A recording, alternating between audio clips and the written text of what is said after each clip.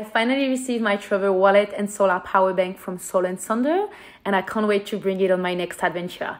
Let me show you. So this travel wallet is made of leather and has plenty of space. Dedicated space for my passport, for cards, and the best thing is it includes a solar power bank. That's pretty cool, right? Okay, let me open it up.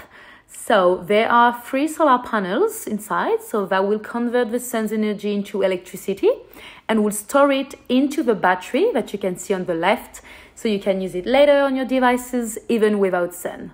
It is such a great innovation and a must have sustainable product for travelers.